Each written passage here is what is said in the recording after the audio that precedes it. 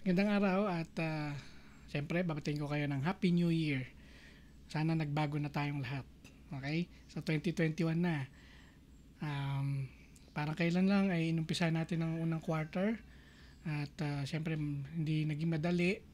Uh, maraming adjustments tayong ginawa. So medyo nahirapan ng iba at ang karamihan ay hindi nakasabay. Um, So sa mga darating na araw, makikita nyo yung performance ninyo sa first quarter at nakakalungkot man isipin, marami ang hindi nakasabay, wala, uh, sabihin, uh, uh, walang marka ang iba.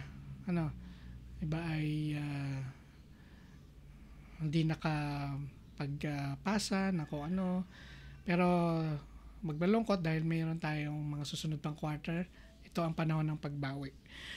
Okay, so simulan na natin. Uh, tayo ngayon ay nasa ikalawang markahan, week 1 and 2. Okay? So, kung nakaraan ay uh, pinag-aralan natin ang tungkol sa pamilya, um, lahat ng patungkol sa pamilya, uh, impluensya nito, uh, kung ano pa. So, ngayon ay uh, uh, lalabas na tayo sa pamilya. So, pagkakaroon na tayo ng mabuting ugnayan sa kapwa. Week 1 and 2. So, balik tanaw tayo ng, kayo, ng kaunti. So, nung, gaya nga na sinabi ko sa inyo kanina, nakaraan ay um, pinalawak ang inyong kaalaman patungkol sa pamilya. So, natutunan ninyo na ang pamilya ay nakaugat sa pam, uh, natutunan mo sa pamilya nin, uh, sa pamilya uh, sa pamilya nakaugat ang mabuting pakikipagkapwa. So, kung paano tayo makipagkapwa ay sinasabi sa ating nakaraang leksyon ay doon nag-umpisa sa pamilya. So nakatutulong ang iyong pamilya upang maging mabuti kang nilalang na may pananagutan sa kapwa. So kung ano yung pinapakita mo sa kapwa mo ay uh, malamang sa malamang ay ito ay nanggaling o impluensya ng inyong pamilya. So tandaan nyo yan. Kaya kung siguro may mga napapansin kayo parang bang, pangit ng ugali. So malamang, malamang sa malamang ay kung ano yung kinalakihan sa pamilya. Okay? Ngayon, so sa ating bagong aralin ay pagtutuunan natin gaya na nakita nyo sa title ay yung pakikipag-ugnayan na sa inyong kapwa. So, uh, dito ay uh, unawain, maunawaan ninyo kung paano makapagsasagawa ng kilos patungo sa mabuting ugnayan sa kapwa. Gayun din yung taos-pusong paglilingkod sa iba, sa iba. So, ugnayan sa kapwa at paglilingkod din sa iba. So, uh, kikilalanin natin kung sino ang iyong kapwa at alamin kung paano makikipagkapwa. Uh, matututunan din natin dito sa leksyon na to, sa aralin na to, ang kahalagahan ng pakikipagdialogo, pakikilahok o pakikiisa sa mga kabuluhang gawain na angkop sa pagkakaroon ng mabuti ugnayan sa kapwa gaya ng mga uh, gaya ng nasa larawan doon sa module. Ano? Uh, nasa module ang tinutukoy nito. Okay, so yan ang ating uh, bagong aralin. So inaasahan sa inyo na matutunan ninyo ang mga sumusunod. Okay, una, natutukoy ninyo ang mga taong itinuturing ninyong kapwa. Okay? Pangalawa, nasusuri mo ang mga impluensya ng kapwa sa iyong aspetong intelektual, panlipunan, pangkabuhayan at politikal. Pangatlo ay nahihinuha o nakukuha ninyo na una, ang tao ay likas na panlipunang nilalang. Kaya't Nagkipag-ugnayan siya sa kanyang kapwa upang malinang siya sa aspetong intelektual, panlipunan, pangkabuhayan at politikal.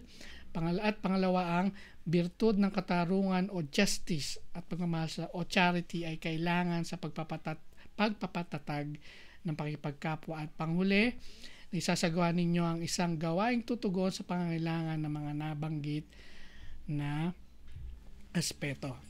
Okay? So yan ang inaasahan na pag natapos natin tong week 1 and 2, uh, ito yung asahan sa inyo na matutunan ninyo. Okay? At uh, sa sunod natin Google Meet ay titingnan natin kung talagang uh, nakuha nyo yung leksyon na to at natugunan natin yung inaasahan sa inyo. Okay? So, simulan na natin. So, sabi, may kasabihan na tayo na walang sino man ang nabubuhay para sa sarili lamang. So ito, inaawit nyo pa sa simbahan to. Walang sino man, walang sino man ang nabubuhay para sa sarili lamang. So ang bawat tao dahil nilalang na relasyonal at social. Hindi yung social na na tsotsal yung mga gamit nyo, pagkilos. Hindi, social, ibig sabihin, nakikipagkapwa kayo. So, kailangan mo ang iba upang ikaw ay mabuhay sa mundong ibabaw. So, bilang tao raw, mayroon kang pagnanais na maging kabahagi at iba pang at iba pa at ng iba, makabahagi ng iba at mapabilang sa iba. Okay, so yon. Uh, tayo ay hindi, totoo na kaya nating uh, tayo ay nilalang o nilika o nabubuhay tayo hindi para sa sarili lang natin, kundi para sa pakipagkapwa. Ngayon, sino yung sinasabing iba? Sino yung sino ba yung iba? So sila yung iyong kapwa. Ano okay? So iba kung sino yung iba, yun yung inyong kapwa. So uh, tingnan natin, ano nga ba ang kahulugan ng kapwa? Ano nga ba ang kahulugan ng kapwa? Okay. So sabi dito, ang kapwa ay taong liban o labas sa iyong sarili. Ito ay maaaring ang iyong magulang, kamag-anak, kaibigan, kaklase at pati na rin kaaway. So maliwanag yan ha. So automatic, automatic na na kapwa ay yung liban o labas sa iyong sarili. Uh, nakalist na nabanggit naman diyan kung sino-sino yung iyong mga kapwa. Okay, maliwanag. So si pag tinanong kayo sino ba iyong kapwa, di yung maliban sa iyong sarili, sila yung iba o yung kapwa. Okay, so ang kapwa ay ang mga tao na nasa iyong paligid, maaring uh, makatul na maari makatulong sa pagbuo ng iyong pagkatao. Okay? Sila yung bumubuo sa iyong pagkatao. Sila rin ang mga nilalang na maari mong makaugnayan, hingan, at bigyan ng tulong, maging karamay o makasama sa buhay. Okay? So, uh, sa madaling salita, kailangan natin ang yung ang ating kapwa gaya ng pangailangan ng kapwa natin sa atin. Maliwanag? Ngayon, upang maging maayos ang iyong pag-ugnay sa kapwa ay dapat daw na ito ay laging may kalakip na ano-ano 'yon. Paggalang, pagmamalasakit at pagmamahal. Ulitin natin, paggalang, pagmamalasakit at pagmamahal. So ang tao bilang nilalang ay may iba't ibang maaring gawin upang mapaunlad ang bahaging ito ng kanyang pagkatao. Okay? So lahat daw tayo, bukod sa mayroon, kailangan na may pag, paggalang, pagmalasakit, pagmamahal, lahat daw tayo may iba't ibang maaring gawin para mas mapaunlad pa natin ng bahagi ng uh, ating pagkataong ito. Okay? So, tingnan natin kung ano-ano yon. So, una ay ang tao bilang nilalang na panlipunan. So, ka kaugnay pa rin siya sa walang sino man nabubuhay para sa sarili lamang. So, tayo, nilalang tayo na panlipunang uh, nilalang. Ibig sabihin, uh, design, nakadesenyo tayo na maging bahagi ng lipunan. Okay? Makibahagi sa lipunan. So, maaaring kang, mayroon tayong tungkulin sa ating kapwa. Okay? Ma, uh, Sabihin natin, walang pakialam dyan. Pero hindi, ang kapwa hindi lang naman yung ano eh. Ang kapwa ay, ano nga ulit yun? Di ba kabilang din yung mga mahal nyo sa buhay? So, meron tayong tungkulin sa ating kapwa, ingatan sila at maging bahagi ng kanilang pag-unlad. So, may kakayahan kang, o may kakayahan daw tayo na makipag-ugnayan sa ating kapwa, sino at anuman ang pinanggalingan o katayuan, kalagayan nito sa buhay. Okay? So, marahil kayo, tinuturuan kayo ng mga magulang niyo na ay, bad yung ginagawa, hindi pwedeng gawin, hindi mo pwedeng gawin sa ibang tao yan, mga ganyan. So, ibig sabihin lang noon, meron ng pagpapahalaga na nagmumula sa pamilya ninyo kung paano kayo makikipag-ugnayan ng tama. Okay? Kung paano kayo makikipag-ugnayan ng tama sa inyong kapwa. So, tayo, tayo daw ay mga nilalang na, matik na, tayo panlipunan na nilalang. Hindi tayo pang sarili lang. Hindi lang tayo nabubuhay na wala, wala tayong pakialam sa iba, hindi. Meron tayong uh, bahagi tayo ng pakikipag-ugnayan sa lipunan. O, panlipunan tayo. Uh, tayo nabubuhay para sa ibang sa ibang nilalang. Okay? Next. So, bilang uh, uh, nilalang na panlipunan, natural lamang na na uh, sabi nga kanina na tayo ay makikipag-ugnayan, makikipagtulungan sa iba. Ngayon, um, syempre, minsan, uh, kaya minsan ayaw natin makipag-ugnayan uh, sa iba dahil ginagawan tayo ng masama. Ano? Uh, kaya lang minsan, pag nag-iisip tayo na nagagawan tayo ng masama, nakakalimutan natin na tingnan ng ating mga sarili. Okay, so napakahalaga nitong sunod. So ang pakipagkapwa at ang golden rule. Ano ba yung golden rule? Uh, malay narinig nyo ito. Sabi dito, gawin mo sa iba ang nais mo na gawin ng iba sa iyo. Tandaan niyo yan ha. Babalikan natin yan sa mga sunod na grade. Sa grade uh, 8, uh, grade 9, grade 10. So gawin mo sa iba ang nais mo na gawin ng iba sa iyo. So ibig sabihin nito, uh, kung ayaw mong gawin ng ka, kung ayaw mo ng ayaw mong gawin ng kapwa mo sa iyo yung isang bagay na 'yon. Wag na wag mong gagawin sa iba 'yan. 'Di ba? Simpleng-simple lang yan. Yan eh, golden rule, nasa Bible din yan. Mismong um, si Jesus, sinabi niya na uh, yung golden rule na yan. Kung ano itin, yung itinanim, yun din yung, yung aanihin. So, kung ano yung ginawa mong masama sa kapwa mo, yun din yung uh, pwedeng bumalik sa'yo. So, wag mo na, wag mong gagawin ang ayaw mong gawin ng iba sa'yo. ba diba? So, simpleng-simple lang yan. Huwag kayong magreklamo kung kayo ginagawa ng ganitong bagay, ginagawa nyo naman sa iba. Okay? So makakamit mo lamang makabuluhan pa kayo pagkapwa kung sa sa puso at isa sa isip mo ang gintong aral na ito. Okay? So tandaan nyo, gawin mo sa iba ang nais mo ng gaw- nais mong gawin ng iba sa iyo. Okay? Golden rule. Yan ang golden rule natin. Okay? Next. So, pagkatapos ng golden rule, dapat uh, uh, gawin mo sa ibang gusto mong gawin ng iba sa iyo. Ito naman ang sunod yung kahalagahan naman ng dialogo or dialogue sa English. So, ano ba ibig sabihin ng dialogo? Ito yung uh, pakipag-usap. Okay? So, napakahalaga ng maayos na pakipag-usap sa pakikipagkapwa. So, sa pamagitan daw nito na ipapabatid mo ang iyong saloobin. So, kung ikaw ay naunawa ng iba, mas magiging madali ang pag-una, pag-uunawaan sa isa't isa. So, gayon din, malalaman mo kung saang aspect, aspeto ng buhay mo siya makakapag mag, mapagkakalooban ng tulong. So, sinasabi lang nitong part na to ng ating module na um, makikipag-usap ka ng maayos. Dapat na marunong kang makipag-usap ng maayos. Okay? Kaya lang naman nagkakaroon ng di pagkakaunawaan kasi minsan may problema sa dialogo. Ngayon, uh, pag mayroong problema, na, marinig nyo lagi sinasabi nyo, na pag-uusapan yan. Yung mga, lima, nag, umaabot sa rambulan, suntukan, awayan. Kung tutusin lahat ng bagay na yan, na pag-uusapan. Okay? So, napakahalaga ng dialogo. So, um,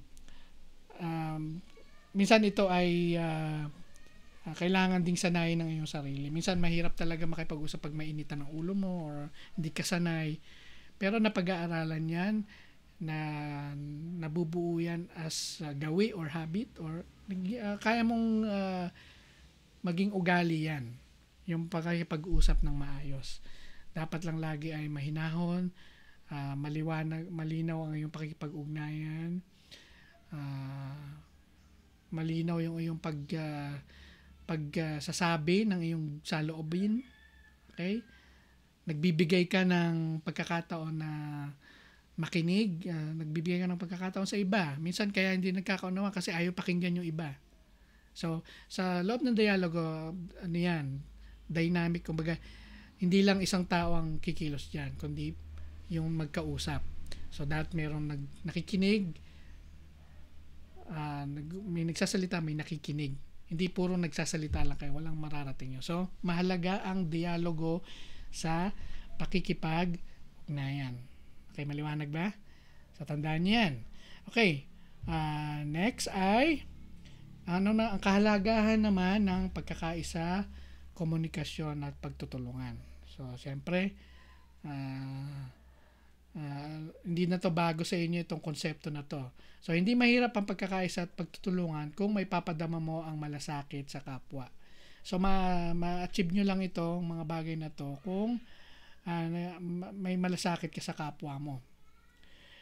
Uh, minsan yung pagkakaisa nagagamit sa maling paraan. Nagkakaisa kayo, na pagkakaisahin nyo isang tao, da, gawan ng masama. Bad yun. Huwag niyong gagawin yun. So, uh, may mga pagkakaroon na hindi nagkakaunawaan ng mga tao dahil sa iba't ibang kadahilanan. Maliwa alam naman natin yun. Ngunit, sa pamagitan ng tamang paghatid ng saloobin, sa tamang paraan sa tamang tao, sa tamang oras at sa tamang panahon, lahat ay may sasaayos. So higit na makatutulong din ang sama-samang malasakit sa bawat isa sa kapwa na naglalayo ng pag-unlad. So, ang pinaka keyword dito ay dapat may malasakit kayo sa kapwa para ma maabot ninyo ang pagkakaisa, komunikasyon at pagtutulungan. So, napakahalaga niya sa pakikipag-ugnayan. Okay? malasakit sa kapwa. Okay. So, uh, um, kung may mga tanong kayo dito sa tinatalakay, pwede nyo ilagay sa comment box, ano, or i-message nyo ako. Uh, by the way, mag, uh, pagkata- bago naman tayo uh, pumunta sa ikalawang aralin, week 3 and 4, eh, mag-google meet naman tayo. Okay, so, ano naman ito? So, sunod ay ang kahalagahan ng pagbuo at pagsali sa mga samahan.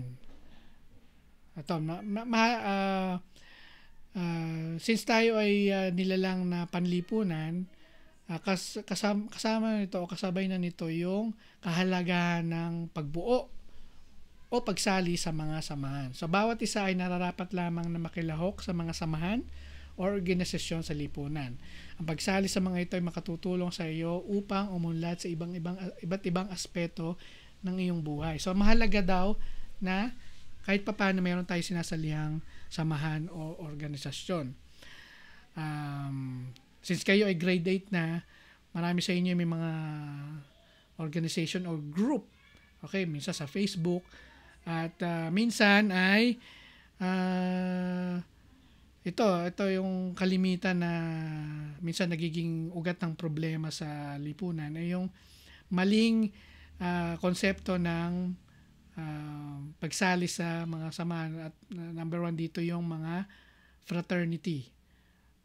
Uh, Siyempre alam namin 'yan. Uh, alam uh, kami dumaan sa nung kami high school, maraming mga kami mga encounter. Ako hindi ako miyembro ng fraternity pero kadalasan uh, yung mga fraternity na nabubuo sa eskwelahan ay hindi maganda yung nangy, uh, mga resulta. Okay? Kaya pinagbawal ang fraternity sa junior high school, elementary junior high school dahil hindi pa kayo marunong uh, mag uh, uh, tag dito uh, isa pamuhay ko ano yung totoong layunin ng fraternity kasi sa, sa totoo lang ako, alam ko naman, ang mga fraternity, magandang hangarin yan. Okay, brotherhood, kumbaga. Kaya lang, uh, nangyayari, ginagawa itong lisensya sa junior high school sa elementary para gumawa ng masama sa kapwa. Kaya yun kaya hindi siya pinapayagan. Ngayon, uh, syempre hindi naman ako naman alam ko naman na hindi lahat kayo ganon. Pero um, wag na kayong lumaban. Halimbawa, mag face to face na tayo, lalaban pa kayo dahil uh, sasabihin nyo na di pinapayagan ng eskwelahan ng fraternity tapos magagalit kayo, pinag ipaglalaban nyo. Hindi. Ang amin lang ano dyan, ako personally, ang ano ko dyan ay patunayan nyo muna hindi kayo gagawa ng masama. Kasi yung pa, uh, yung pa rin ang umiiral eh. Lahat ng may fraternity sa school ay gumagawa ng masama. Okay? So mapatunayan lang niyo siguro sa DepEd dyan na hindi kayo gumagawa ng masama, papayagan kayo. Kaya, kaya lang kasi yon nga, dahil nga sa kabataan nyo, mapusok kayo, uh, ginagamit nyo siyang lisensya para gumawa ng masama. Kasi hindi, hindi pa abot ng isip nyo ng iba sa inyo yan. Kaya binagbibigyan uh, uh, doon sa mga mature na tao lamang pinapayagan yung pagsali sa fraternity. So, uh, sa, sa kabila nun, may, meron namang mga maayos na samahan. Merong English Club, uh, science club, yun, mga, mga samahan na pwede nyo salihan na makatutulong sa pag-unlad ninyo bilang isang tao. So, mahalaga, mahalaga talaga na meron kayong mga sinasamahang grupo. Okay? Ako, marami akong grupo na sinasamahan. Uh, especially mga grupo ko, yung mga hilig ko. Ako, mahilig ako sa mga koleksyon. Halimbawa, koleksyon ng mga mga mga diecast na kotse, Sinalihan ko yan sa group sa Facebook. uh, mga mahilig sa plaka. Kung mapapansin nyo, may plaka ako dito sa likod. Uh, sinamahan ko yan. Yung mga na, na bukod sa nat, natutuwa ako na meron akong kapareho ng ano, nakakatulong din siya sa bilang uh, sa pakikipag-ugnayan ko sa kapwa na hindi ko kilala talaga lubusan. Okay, so again, mahalaga ang pagbuo o pagsali sa mga samahan para uh, umunlad ang iba't ibang aspeto ng iyong buhay. Okay? Ngayon, so kung gagampanan mo raw ang iyong mga tungkulin bilang relasyonal o sosyal na nilalang, ikaw ay Una, inaasahan na magiging katuwang at kabahagi ng pamilya at lipunan upang makamit ang layunin nito patungo sa kabutihang panlahat. So again, uh, hindi pang sarili pa rin ang ating unang dahilan kung bakit tayo nilaka, nilika. Para sa kabutihang panlahat pa rin tayo. Pangalawa, kasama sa pagtataguyod ng mga gawain makapagpapaunlad sa pangkabuhayan, produksyon at pagkonsumo Pangatlo ay kaisa sa pagkibahagi sa layunin ng pag-unlad ng lipunan at kaagapay sa pagtataguyod ng bahaging politikal ng lipunan. Yung mga bagay na yan, medyo um, matatalakay pa natin sa mga susunod na pagkakataon. Pero yan yung mga uh, uh, pag ginampanan mo raw ang iyong tungkulin bilang relasyon o sosyal na nilang, ikaw ay yung mga sumusunod. Okay? So, ang bawat tao ay dapat daw maging bahagi ng kanyang kapwa sa pag-unlad. Okay? Uh, makakamit lamang ito kung magagampanan ang tungkulin na inaatang sa inyo o sa atin o sa kanya. Okay? So, mag, uh, anong dapat nating gawin? Magmahal, magmalasakit at maglingkod lagi sa kapwa. Ito ang mga bagay na dapat isagawa upang mag, upang maging makabuluhan ang iyong buhay. Ito lang, kung naghahanap kayo ng kabuluhan ng iyong buhay, ito lang ang inyong gagawin. Magmahal, magmalasakit, at maglingkod sa inyong kapwa. Okay? So, um, sagutan nyo lamang yung mga, tapusin nyo lang yung, of course, yung mga gawain nyo na nakapost sa Google Classroom. Okay? Uh, week 1 and 2. At, uh, yan um, natural, yan eh, ginawa nyo yan uh, on time, ay wala kayong magiging problema. Lagi lang, lagi ko lang papaalala sa inyo na, na para hindi kayo mahuli ay lagi kayong mag-update sa Facebook group natin. Okay, doon ako magbibigay ng announcement. So, yan. So, kung may question kayo, i-comment nyo below or um, sa Google Meet natin. Okay. So, Uh, again, maraming salamat sa inyong oras sa pakikinig at kita-kita tayo sa mga sa susunod nating Google Meet. Okay? So, paalam.